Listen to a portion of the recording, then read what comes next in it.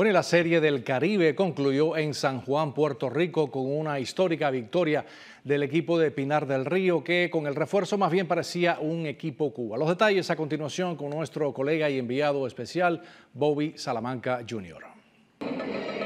¿Qué tal? Bienvenidos a los deportes. Este domingo se jugó la final de la Serie del Caribe, donde el equipo cubano enfrentó a México y lo hizo con el respaldo de esta fanaticada.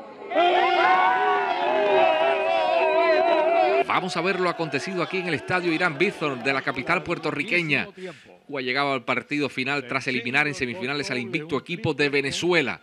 Lo hizo con una sonada actuación ofensiva de Frederich Cepeda. Batió de 5-4 con 5 impulsadas.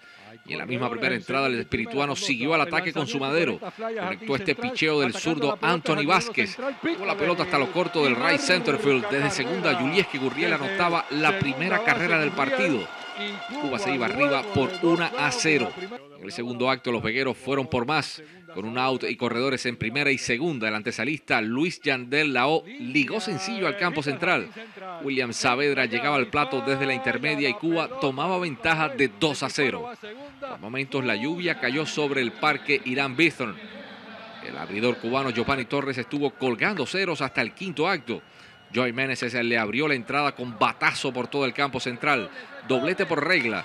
Tres turnos más tarde, Walter Ibarra pegó sencillo al derecho para romper la blanqueada de Torres.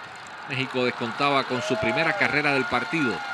El derecho Vuelta Bajero lanzó seis capítulos con cinco ponches. Solo le batearon dos hits. Cuba decidió la partida en la octava entrada. Julieski Gurriel le hizo swing grande a un picheo del derecho Juan Delgadillo. Bambinazo solitario sobre todo el campo izquierdo tercera carrera del equipo cubano. Los fanáticos explotaron de alegría en las gradas con el batazo del número 10 cubano. México llegó a descontar otra más en la parte baja del octavo. Pero en el noveno el taponero Héctor Mendoza dio el escon. Cerró abanicando a Ibarra para el out 27 del partido. Y los vegueros de Pinar del Río vencieron tres carreras por dos. El parque Irán Bithorn estalló en una celebración para la historia. Cuba ganaba así su primera serie del Caribe en 55 años.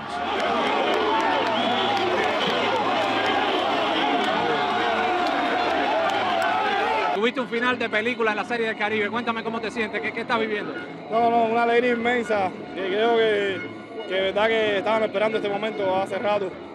no tuvimos una primera buena ronda, estuvimos a punto de no clasificar. Era un golpe muy duro para, para Cuba, ¿no? De no clasificar pero bueno, nos lo llamamos a reflexión, tuvimos que hacer el trabajo y aquí lo ven, en lo que quedamos en lo final. Creo que un saludo en general a todo el pueblo de Cuba y a los muchachos en general que se lo ganaron. Comenzaron la serie abajo, pero después demostraron ser un gran equipo. ¿Cómo fue eso que estás viviendo ahora mismo? creo que es una emoción muy grande. Los muchachos vinieron de menos a más. Hicimos todos los ajustes pertinentes, nos fuimos adaptando a la competencia. O sea, una competencia a un nivel muy alto y creo que todo salió como teníamos pronosticado. Frederic Cepeda fue seleccionado jugador más valioso del certamen. Se llevó 32 votos de 36 posibles tras batear 8 hits en 17 turnos con 7 impulsadas. En total, 4 cubanos quedaron incluidos en el equipo todos estrellas del certamen. Iba haciendo todo en los deportes. Cuba finalmente conquistó la Serie del Caribe. Ahora regresamos con más de Antena Live.